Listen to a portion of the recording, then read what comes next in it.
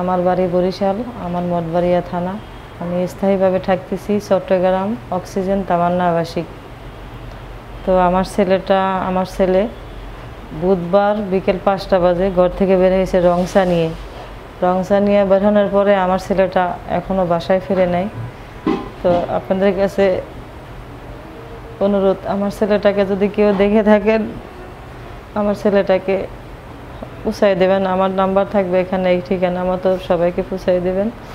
আর আমার ছেলেটার বয়স চোদ্দ বছর, ওর নাম হয়েছে শাকিল। ও পেশায় হয়েছে রং চা বিক্রেতা, জাস্ট রং চা বিক্রি করে। আমার এই ছেলেটাকে যদি কেউ পান, আমার এতিম, ওর বাবা নেই। মা ছাড়া আমি বাবা, মা বলতে আমি নিজেই, যদি আপনারা কেউ পেয়ে থাকেন ও সন্ধান জেনে থাকেন, তাহলে আবার ছেলেটাকে আপনারা পুষাই দেবেন। আমার ছেলেটা পাঁচটা বাজে বের হয়েছিল বুধবার তেইশ তারিখে। তো আমার ছেলেটাকে তখন থেকে নিখোঁজ, আমার ছেলেটাকে পাচ্ছি না। আর আমি থানায় একটা জিডি করছি। আমার ছেলেটা সরল সোজা একটা বাচ্চা।